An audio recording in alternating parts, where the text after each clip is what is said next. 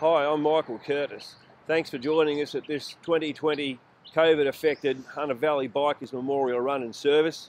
This year we're not doing the run as such because of the social distancing requirements. However, we're just going to get straight into the service. Shortly, Howard Mole is going to have a few words to say. And uh, then from there, we'll be looking for plaques to put on the board uh, and then be a roll call moment silence and amazing grace to finish it off. Thanks for your interest and look forward to seeing everybody out and about and also on the road next year. Well, things are very different this year, and what a year it's been with drought, fires, floods, and now COVID. For most of us in the Newcastle region, we've not been harshly affected uh, by these things. Most of us have not been affected by drought, by fires, by floods, or the coronavirus, other than social distancing and lockdown and with some loss of work and or business. But in spite of these crises, many things remain the same. Life continues, and so of course does death. For most of us, we have not lost someone as a result of fires, floods or COVID. But death has still invaded many of our lives for one reason or another. People have continued to die as a result of illness, old age, and various kinds of accidents.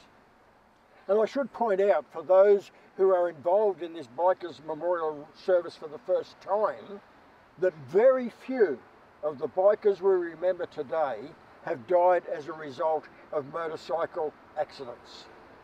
Out of the 130 names on our memorial board, only a handful have died on their bikes or as a result of riding. The reality, however, remains that everyone dies. Some live a long life, while others have their life cut short, way too early. And so we join together today to remember those biker friends family or loved ones that have passed away and left some sort of hole in our hearts. Under normal circumstances, pre-COVID, we would have ridden today from Newcastle to Mount Sugarloaf as a memorial ride for these folk. Today we meet on video, but our hurt and our pain is still the same. Our sense of loss, our sense of grief, is just as real, just as painful, just as heartbreaking as it would have been if we were standing shoulder to shoulder on Mount Sugarloaf.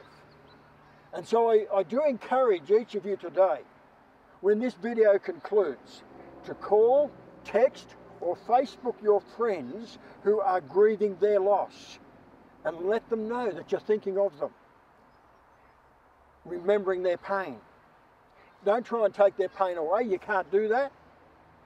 But offer them words of encouragement, words of love, endearment, words of support, and reflections of good memories of those who have passed away.